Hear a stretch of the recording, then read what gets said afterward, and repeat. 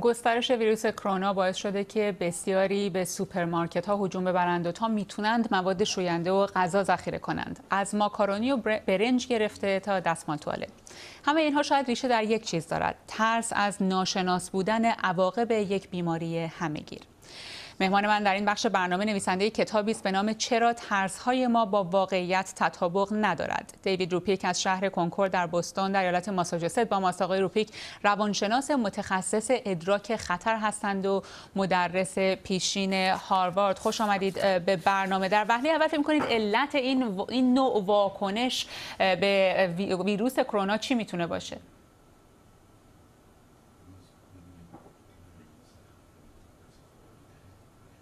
Uh, Rana, salam alaikum, um, and Nicholas, our translator, thank you. Um, بله متشکرم. وقتی که به یک پدیده با یک پدیده جدید و تهدیدآمیز روی داریم روبرو میشیم جدید خطرناک نه مثل مثلا یک تلفن موبایل جدید. یک بخش مسئله اینه که ما یک چیزی رو نمی‌فهمیم. و وقتی چیزی رو نمی‌فهمیم اون اسرار و رمز و رازی که در کار هست ما رو نگران می‌کنه و ما فکر می‌کنیم خب چطور می‌تونیم از خودمون محافظت کنیم؟ احساس ضعف می‌کنیم احساس آسیب پذیری می‌کنیم. احساس می‌کنیم که کنترل اوضاع رو در دست نداریم. بنابراین واکنش اقراق‌آمیزی از خودمون نشون میدیم و میریم به سمت پیشگیری و دقت و احتیاط شاید بیش از حد. و الان این چیزی که شاهدش هستیم. چطور میشه مقابله کرد با این ترس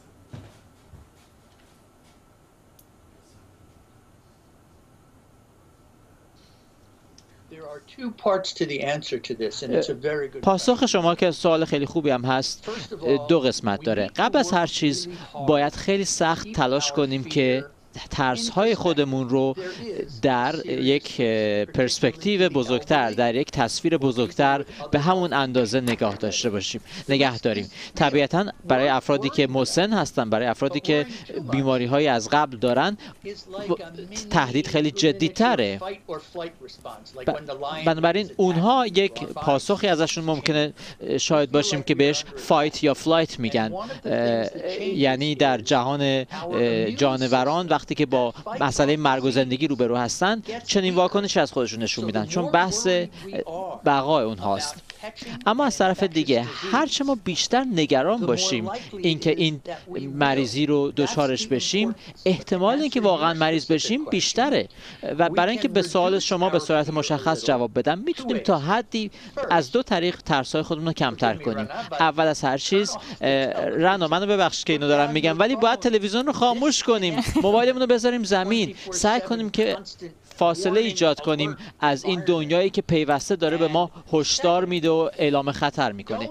در درجه دوم فوری نریم و نتیجه نگیریم. نتیجه گیری نکنیم به محض اینکه یه چیزی میشنویم. یه لحظه خودتون متوقف کنید. مغز ما طبیعتا دوست داره که نتیجه بگیره. این آسونه و به ما احساس امنیت میده. برای اینکه ممکنه خطری در کار باشه. و ما اگه از قبل نتیجه گیری کرده باشیم می‌تونیم زودتر واکنش نشون بدیم. اما این کارو نباید بکنیم. برای اینکه معمولا اولین واکنش شما احساسی تره. صبر کنید. شاید سی ثانیه یک دقیقه صبر کنید و بعدا راجبش فکر کنید. اطلاعات بیشتر به دست بیارین. از منابع مورد اعتماد نه افرادی که دارن جیغ و داد می‌کنن یا اینکه منافع شخصی یا سیاسی دارن. به قسمت پیش پیشانی مغزتون و به بخش تحتانی مغزتون. اجازه بدین که هر کدوم کار خودش رو انجام بده. به بخش پیشانی مغز خودتون اجازه زمان زمان بیشتری برای نتیجه گیری و فکر بدید. ببخشید که جوابم می‌خوره طولانی شد ولی باید اینطوری رفتار خیلی عالی بود. آقای روپیک واکنش ها از در کشورهای مختلف متفاوت بوده. فرضا این گونه که در بعضی از کشورهای اروپایی یا آمریکایی می‌بینیم که سوپرمارکت ها رو مردم خالی کردند. دیدن این تصاویر برای بسیاری در کشوری مثل ایران تعجب برانگیزه. چنین واکنشی رو ما در بین ایرانی ها نمی‌بینیم. علت این تفاوت روی کرد چی می‌تونه باشه؟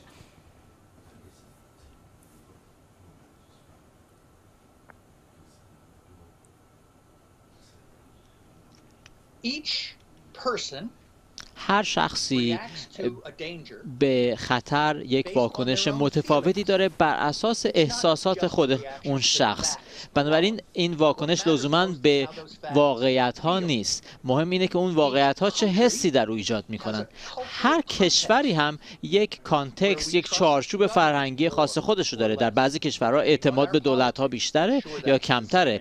بستگی به سیاست های جاری اون کشور. مطمئنم که هم در ایران این رو شاهد هستیم هم در آمریکا این رو شاهد هستیم. کشورهای مختلف تجربه های مختلفی دارن. ایرانی ها در خاورمیانه شرایط مخاطرآمیز مختلف و متفاوت دیگری رو تجربه می‌کنن.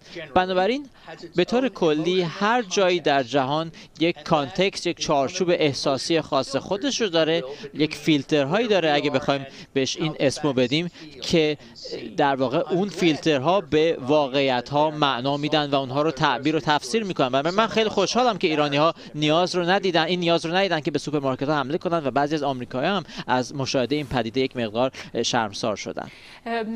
آقای روپیک ای از ایجاد وسواس در خودشون ابراز نگرانی می‌کنند معتقدند که شاید بیش از حد دستاشون رو میشورن همه چی رو ضد عفونی می‌کنن. توصیهتون برای اون افرادی که دچار بیماری وسواس شدن چیه؟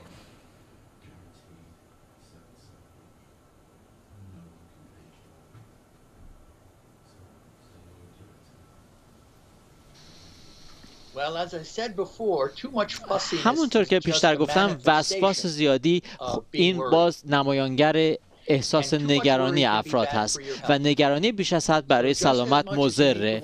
بنابراین از یک طرف درسته که باید دست خودتون رو برای 20 ثانیه به دستاتون رو بشورین و به قول انگلیسی زبان ها هپی برثدی تولد مبارک رو بخونید کلش رو از طرف دیگر بخش دیگر جواب شما رنا این است که ما داریم دستامون رو میشوریم که خودمون رو در ایمنی نگه داریم.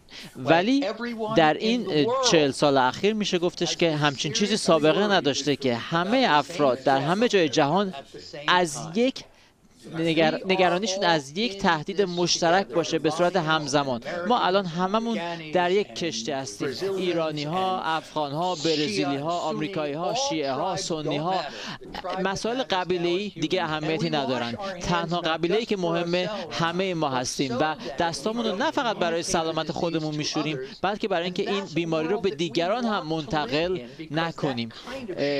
بنابراین این جهانی که ما می‌خوایم جهانی که در اون نگرانی های مشترک داشته باشیم و احساس همدلی داشته باشیم. بنابراین این چیز دیگری است که ما می‌تونیم وقتی داریم دستامون رو میشوریم بهش فکر کنیم. متشکرم دیوید روپیک